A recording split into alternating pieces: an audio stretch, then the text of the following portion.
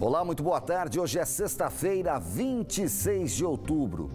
Corpo de policial militar é encontrado no Rio Paraíba. Ele foi assassinado por três menores que confessaram o crime e estão detidos. Os números da Secretaria de Segurança Pública que mostram que os homicídios continuam subindo na região. Contagem regressiva para as eleições, urnas a caminho das sessões de votação. E hoje é dia de programar o fim de semana com a nossa agenda cultural. Esses são alguns dos nossos destaques. O Band Cidade, primeira edição, começa agora.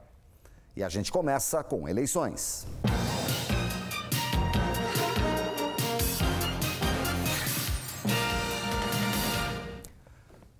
Falta pouco para o eleitor exercer a democracia. É domingo, dia 28, o segundo turno, válido para governador e presidente. Em Taubaté, as urnas começaram a ser transferidas hoje cedo para os colégios eleitorais. Veja. Quem precisou passar pela Avenida Granadeiro Guimarães, no centro de Taubaté, na manhã dessa sexta-feira, precisou de paciência. O motivo, a movimentação em torno do cartório eleitoral da Zona 141. Começou hoje a transferência das urnas para as sessões de votação. Enquanto agentes de trânsito orientavam motoristas, policiais militares reforçavam a segurança. A operação também contou com o apoio de 50 servidores da Justiça Eleitoral. Nós estamos é, preparando os locais de votação. Então, hoje é a saída, o início da saída das urnas, né, que já foram preparadas, já estão com o sistema de eleição e elas vão ser distribuídas em metade dos locais de votação que esse cartório administra. Da Polícia Militar, que faz escolta, acompanhamento, a segurança e existe também é, a participação da Polícia Federal, da Guarda Municipal e também tivemos a ocorrência da Polícia Rodoviária também estadual. Juntas, as duas zonas eleitorais de Taubaté devem receber até sábado mais de 600 urnas. Equipamentos que, depois da apuração do primeiro turno, foram novamente programados e lacrados. E pouco tempo depois da saída do cartório, lá estavam elas de volta à sessão eleitoral. A votação começa no domingo às 8 horas da manhã, mas aqui nessa escola de Taubaté já está tudo pronto.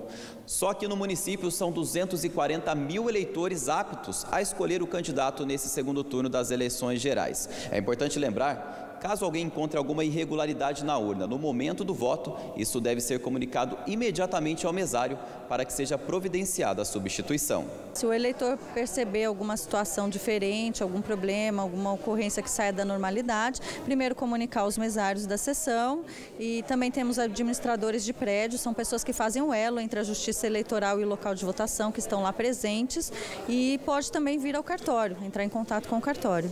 No primeiro turno, a Justiça Eleitoral de Taubaté registrou a reclamação de eleitores com problemas de mobilidade.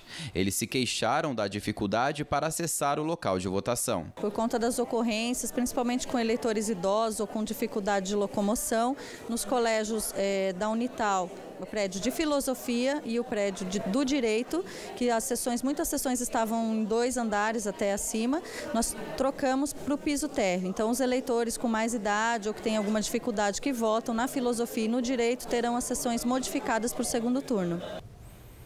Agora a gente muda de assunto, fala de violência. Os três menores envolvidos na morte de um policial militar em Aparecida devem ser apresentados hoje à Promotoria da Infância e Juventude. Eles confessaram na delegacia que mataram esta madrugada um PM durante uma tentativa de assalto. O corpo do soldado Douglas Gomes do Nascimento foi resgatado por bombeiros hoje de manhã no Rio Paraíba do Sul. Os três suspeitos têm 15, 16 e 17 anos e foram surpreendidos pela PM em uma blitz. Eles alegaram que descobriram que a vítima era um PM durante o assalto e por isso atiraram contra ele. O policial era de cruzeiro e estava de carro quando foi abordado pelo trio. Ainda não há informações sobre o velório da vítima. E o número de vítimas de homicídio doloso, que é quando há intenção de matar, continua subindo na região. Guaratinguetá lidera esse tipo de ocorrência. Os estupros de vulnerável, que é praticado contra menores, também registraram um significativo aumento. Vamos aos números da segurança em setembro. Em toda a região, os casos de estupro de vulnerável subiram 14% em setembro.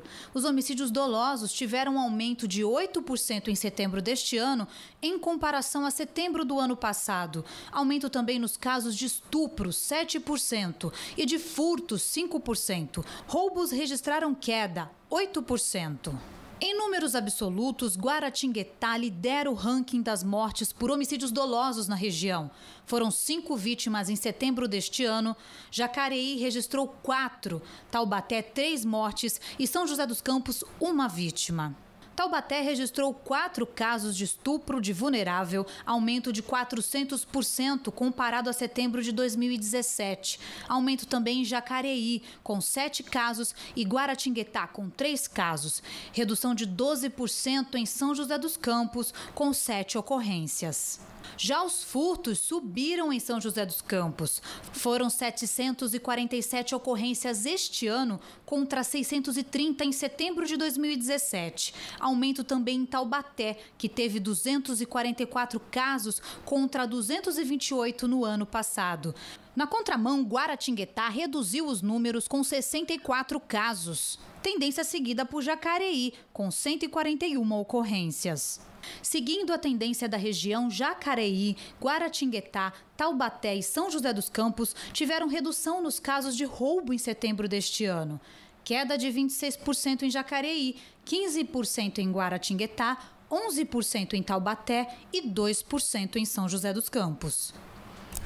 Em nota, a Secretaria de Segurança Pública informou que as polícias civil e militar atuam de maneira constante e integrada para combater os homicídios dolosos e a criminalidade como um todo no Vale do Paraíba. Nos últimos nove meses, mais de 7 mil prisões foram realizadas na região.